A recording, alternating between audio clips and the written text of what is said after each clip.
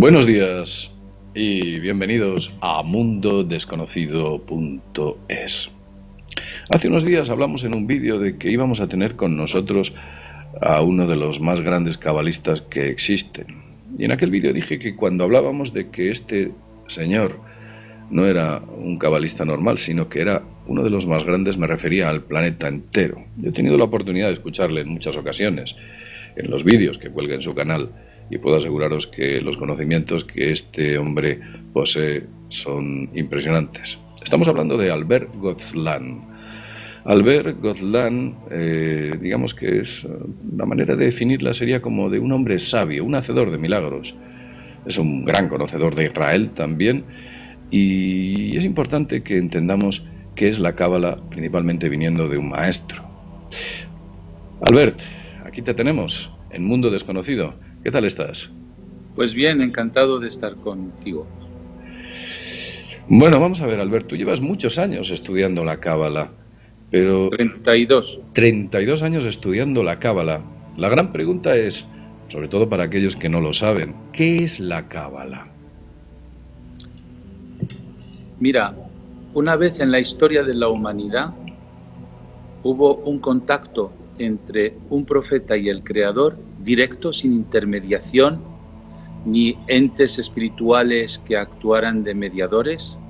Estamos hablando de Moshe Rabenu, Moisés, el famoso Moisés de la Biblia, que durante 40 días y 40 noches estuvo en una dimensión paralela, sin comer, sin beber, fuera de su cuerpo, absorbiendo todo el conocimiento de los mundos espirituales que son la causa de lo que ocurre en el mundo físico. Ese conocimiento era tan inmenso que no se vio capaz de darlo al pueblo de Israel. Esto ocurrió cuando subió al, monte Sinaí, ¿no? Bueno, no subió al monte Sinaí, es una mala traducción. En hebreo dice Moshe kibel Torah mi Sinai. Moshe recibió la Torah, es decir, todo el conocimiento de arriba. La Torah es la Biblia, ¿eh? en toda su extensión mi Sinai, del Sinai, como si la montaña se lo hubiera dado, pero es que Sinai es un código. Es un código que quiere decir eh, en numerología 130, que es igual que la palabra escalera en hebreo sulam, que vale 130, es decir, que ascendió por una escalera a los niveles meditativos más profundos que se pueda conseguir. Mm. Tanto es así que salió de su cuerpo y pudo acceder a conocimientos que nunca un hombre humano podría haber conseguido por sí mismo. Eh, Ese conocimiento es la cábala. Vamos a ver, ¿quieres decir que salió de su cuerpo? Es, eh, digamos que la mejor forma de entenderlo quizás sería como lo que algunos iniciados llaman hoy en día un viaje astral, ¿no? Cuando sale su espíritu de su cuerpo de manera consciente y reciben de algunos sabios ciertas informaciones. Pero en esta ocasión parece ser que Moisés recibió de la fuente directamente este conocimiento. El viaje astral, como dice la palabra astro, sube al nivel de, los, de las inteligencias astrales, pero aquí no fue el nivel de las inteligencias astrales, subió tres escalones más arriba de la, del viaje astral, es decir, a un mundo llamado el mundo de la, emanación, de la emanación, que es un mundo en contacto directo con el Creador. Y pudo traer de allí el porqué de nuestro mundo, el porqué del ser humano y el manual de funcionamiento del ser humano. Eso es la Kabbalah. De hecho, la Kabbalah es eh, una palabra hebrea que viene del verbo lekabel, que es recibir. Es decir, la Kabbalah es lo que se recibió directamente del Creador sin mediador ni intermediación. Entiendo. Otra pregunta que iría relacionado con esto es porque Moisés recibe toda esta información, pero parece ser que luego es entregada a un sabio. Se la da a su capataz, Yoshua Binun, y luego se la da a su hermano, Aarón a Cohen, el gran sacerdote del templo, fue después el gran sacerdote del templo, y le dijo, no me veo capaz porque no tengo vocabulario para explicar toda esta física cuántica a un pueblo de hace 3.600 años, ni para, ni para explicar conceptos que, que, todavía la ciencia no ha podido determinar. Entonces, lo que hizo su hermano Aarón fue rebajar ese conocimiento a un conocimiento mucho más sencillo para gente mucho más sencilla. Y el verdadero conocimiento solo pasó a los sabios y luego a los cabalistas de alumno, de maestro alumno hasta el día de hoy, del cual yo soy un heredero de esa sabiduría, de esa sabiduría. Mm, la gran pregunta es, eh, después de preguntarte quién, qué, la siguiente sería ¿por qué? ¿Por qué se entrega la cábala al ser humano? Es como un fuego de Prometeo cuando entrega el conocimiento al ser humano. Bueno, igual que te entregan un manual de funcionamiento cuando compras un televisor o un vídeo o un teléfono, tienes que saber cómo funciona. El ser humano no se conoce, necesita un manual de funcionamiento. Y el ser humano no está hecho solo de cuerpo, está hecho de una energía y esa energía está alimentada por una energía superior y si no conoces el manual de funcionamiento empiezas a tocar todos los botones y estropeas la máquina, ¿verdad? Pues el hombre que no conoce el manual de funcionamiento del mismo, pues empieza a contratar legisladores que hacen leyes y las van cambiando, cambiando porque ninguna funciona, porque no tiene el manual de funcionamiento del creador. Solo el que te crea puede hacer un manual de funcionamiento. Tú imagínate que un ordenador hiciera el manual de funcionamiento de otro ordenador. De mismo nivel no es posible. Ahora, un fabricante de ordenador sí puede hacer el, manual de funcionamiento de un, de un ordenador. Y es el que ha creado al ser humano que puede hacer el manual de funcionamiento del ser humano. Y como el ser humano no ha estudiado la Kabbalah, pues está inventando constantemente manuales de funcionamiento y todos fracasan. Se han, intentado muchas políticas, pero ninguna ha funcionado. Vamos a ver. Eh, otra pregunta es, eh, ¿la cábala qué entrega al ser humano en el aspecto eh, de generación? Quiero decir, si yo tengo una necesidad en este plano físico y yo comprendo la cábala, la cábala me abre las puertas para solucionar ese problema ya sea económico, de salud, de amores, por poner un ejemplo, o de necesidades de algún tipo, me permite crear prodigios el conocimiento de la cábala? Es más sencillo que eso. Nosotros tenemos una energía que necesita nutrirse de la fuente de energías. Es llamada el alma del alma y por eso Moisés subió a ese nivel, donde está la fuente y el manantial de energía que nutre nuestra alma. Esa energía que nos da la vida luego alimenta nuestro cuerpo y alimenta nuestras circunstancias. Si nosotros no nos nutrimos de ese manantial, entonces todo lo que hacemos, vemos y actuamos es torpe. No paramos de tropezar. O sea, quieres si debemos conectarnos con la fuente de, de, alimentación de nuestra alma, ella va a generar las circunstancias de plenitud para que nuestra vida no tenga carencias. Cualquier tipo de carencias viene de una ausencia de conectarse con la fuente de energía. Y la Kabbalah lo que te da son las herramientas para enchufarte a esa fuente de energía. O sea, quieres decir que el ser humano pasa toda su vida con sed y hambre y no sacia por falta de ese conocimiento. Y ese conocimiento haría que todas esas necesidades estuviesen perfectamente cubiertas. Imagínate que tienes un coche, un carro como dicen en América del Sur, y no sabes que existen las gasolineras. Pues va a, llevar, va a llegar un momento en que tu, coche o carro no va a funcionar. Mm vas a buscar mil maneras para hacerle andar, pero si no sabes que existe una gasolinera y que le puedes poner gasolina y dónde se le pone gasolina, pues nunca te vas a nutrir y este pobre coche al terminar de la, de la historia, pues va a terminar abandonado en un caos. Es lo que pasa con el ser humano, no sabe ir a la fuente de energía. La Kabbalah lo que es un manual de cómo nos enchufamos a esa fuente de energía. Mm, vamos a ver, Albert. Digamos que hay un aspecto muy conocido por la gente con respecto a la cábala, quizás uno de los más conocidos, si no el más conocido, y son las sefirot. Son las sefirot. Esas esferas en un árbol que parece que almacenan un conocimiento en clave. ¿Qué son las sefirot? Bueno, te voy a dar un ejemplo para, para que se entienda de una manera sencilla. Como decía Einstein, Si lo puede entender tu abuela, es que lo explicas bien. Entonces, tú imagínate una central eléctrica donde hay 200.000 voltios y tú necesitas encender una lámpara donde la bombilla de tu casa tiene pues, 220 voltios.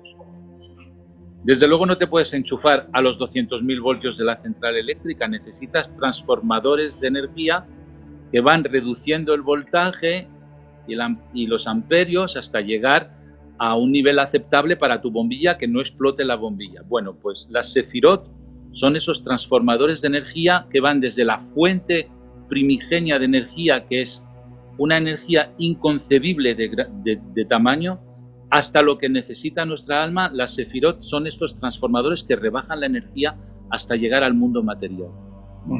Si no, el mundo material explotaría. Esos son las Sefirot. Es interesante, porque además almacena, las Sefirot almacenan no solo un conocimiento, eh, digamos, en, sus formas, sino en sus posiciones y ese, ese, árbol que, existe ahí tiene algo que ver con el famoso árbol de la vida que aparece repetidamente. Bueno, hay dos árboles en el jardín del Edén, el árbol de la vida, el, el árbol del conocimiento, el bien y el mal. El árbol de la vida es la fuente de alimentación de nuestra alma, como te he explicado ahora. Y el árbol del conocimiento, el bien y el mal, es cómo funciona nuestro cuerpo.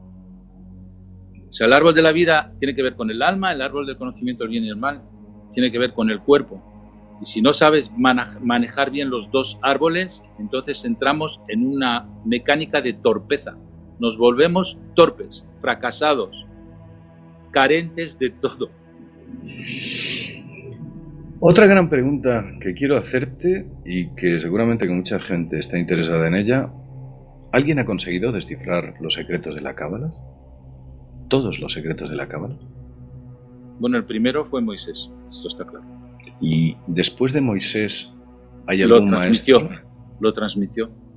Lo transmitió de maestro a alumno hasta hoy. Los tenemos todos descifrados. Todos. Y los estamos difundiendo de una manera clara y al alcance de todo el mundo. Yo ahora mismo tengo 440 y muchos vídeos explicando todos los conceptos de la Kabbalah y sus herramientas para enchufarse a la fuente primigenia de energía. Y tampoco explotar, es decir, de una manera razonable para que tu vida no tenga carencias. Y todos los aspectos de la vida se resuelven, desde los más inimaginables se pueden resolver si conoces las herramientas de la Kabbalah y no solo son herramientas técnicas, son también herramientas morales.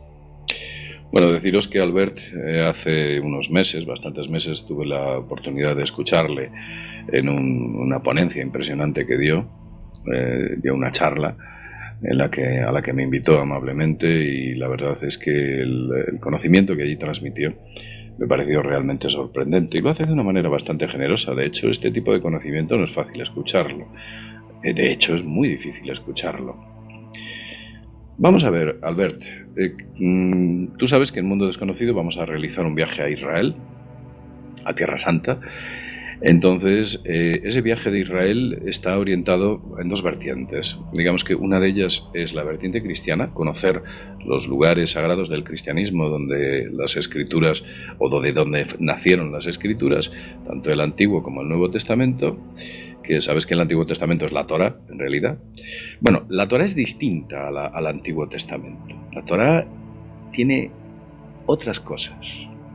Pero vamos, independientemente de, eso, se parecen mucho, vamos a decir que se parecen muchísimo. Aparte de eso, vamos a visitar una serie de tumbas de unos maestros, de unos maestros de la Cábala, maestros milenarios. Que parece ser que esta gente eh, tuvo un gran peso y obró grandes milagros eh, en vida. Cuéntanos un poquito qué es lo que vamos a ver en Israel en esos lugares que vamos a visitar y a quiénes vamos a visitar, o alguno de ellos. Mira, te voy a contar un gran secreto cabalístico. Los justos de las generaciones y los cabalistas de las generaciones, por más capacidad de hacer milagros, tenían una limitación y es que vivían en un cuerpo que les limitaba.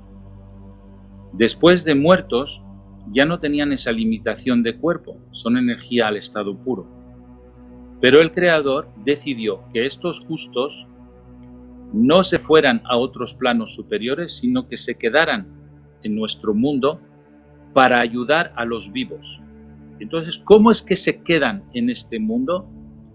La parte baja de su alma flota encima de la, de la piedra tumbal, flota de por vida.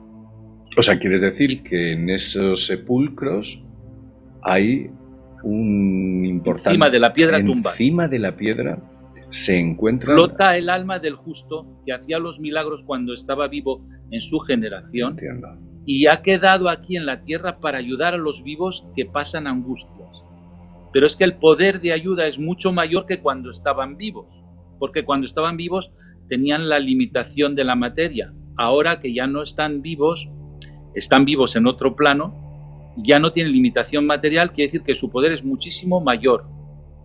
Y entonces cuando vamos a hacer ciertas meditaciones al pie de la piedra tumbal de estos justos, activamos la fuerza de estos justos que han quedado en la tierra precisamente para ayudar a las personas que van a rezarles con angustias o con carencias. Mm. Y ahí aparece una serie de circunstancias en la vida del que ha orado que le resuelve las situaciones.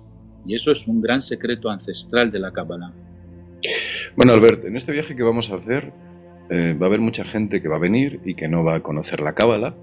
Otros van a tener un grado de iniciación eh, a cierto nivel.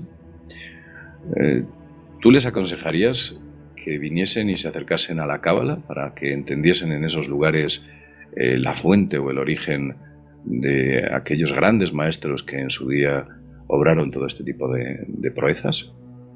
¿A quién no le interesa la plenitud? ¿A quién no le interesa la felicidad? Y la felicidad no es solo tener dinero o tener salud, la felicidad es que en todos los campos de la vida no haya carencias. El trabajo que vamos a hacer y la visita que vamos a hacer a las tumbas de los sadikim, es decir, de los justos, de los que acabo de hablar, es precisamente para que colmen todas nuestras carencias. ¿A quién le amarga, a le amarga un dulce? Por supuesto. Y ya para finalizar, Háblanos un poco de Israel. Tú has estado en Israel muchas veces. ¿Cómo es? ¿Cómo son sus calles, sus gentes, la vida cotidiana? ¿Cómo es el pueblo israelí en general? ¿Cómo son? Hay mucho mito, hay mucha, mucha estupidez que se ha dicho a través de muchos medios y muchas verdades, pero tú que has estado allí, ¿cómo es Israel y sus gentes? Hay dos Israel. Hay el Israel del turista, no te va a aportar nada pero nosotros no vamos como turistas, somos viajeros del misterio y del conocimiento. Por eso. Hay el segundo Israel, que en principio empieza de madrugada y es donde salen los sabios a cargarse de energía y a difundir energía. Allí es el segundo Israel del que te estoy hablando. Allí es donde vamos a ir a visitar las tumbas a esas horas en donde se abren las puertas del cielo y en donde las tumbas de los sadikim se activan se activan sus almas, quiero decir, para colmar las necesidades del que va a visitarles. Ese segundo Israel es el que quiero yo enseñar. Bueno, pues nada más. Hemos tenido un pequeño problema al final con Skype, ya sabemos cómo funciona Skype y todos los problemas que nos entrega amablemente. Y bueno, pues eh, solamente despedirnos de Albert, decir que aquellos que vengáis al viaje eh, a Israel estas navidades, pues tendréis la oportunidad de charlar con él codo con codo y compartir todas vuestras experiencias y él, por supuesto, entregaros ese valioso saber que tiene. También estaré yo con vosotros y, por supuesto, Marta Ruescas, la otra colaboradora de Mundo Desconocido. Y nada, Albert, eh, bueno, pues eh, reemplazarte para Navidad. Eh, gracias por estar con nosotros. Gracias a vosotros. Y bueno, pues recomendar el canal de Albert, que es una auténtica maravilla. Kabbalamashia.com, sí. Es un, es un, pozo de conocimiento absolutamente increíble. ¿Cuántos vídeos llevas allí hablando de la Cábala? 447 vídeos. Qué barbaridad. De hora y pico cada uno. Impresionante, impresionante. Lo dicho, como siempre decimos, para despedirnos, sin más, desde mundodesconocido.es nos vemos en el próximo videoprograma. Hasta pronto.